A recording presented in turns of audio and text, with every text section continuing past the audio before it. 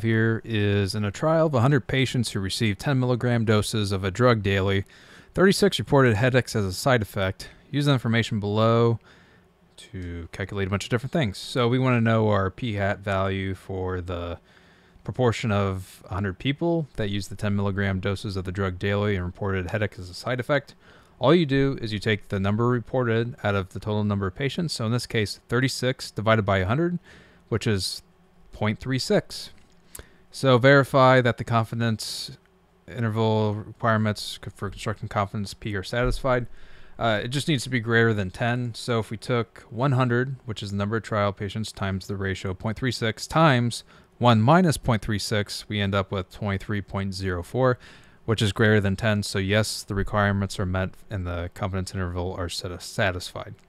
So construct a 90% confidence interval for uh, the population proportion of patients who receive the drug and report headaches as a side effect.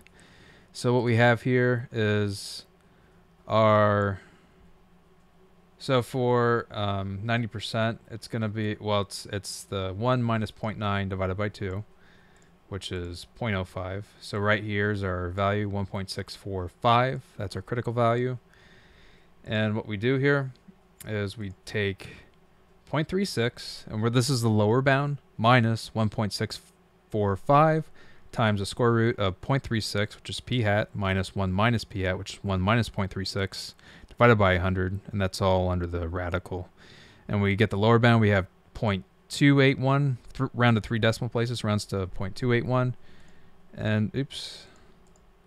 And our upper bound is going to be adding everything with 1.643 four or five times under the radical, and we round to three decimal places, we get 0.439.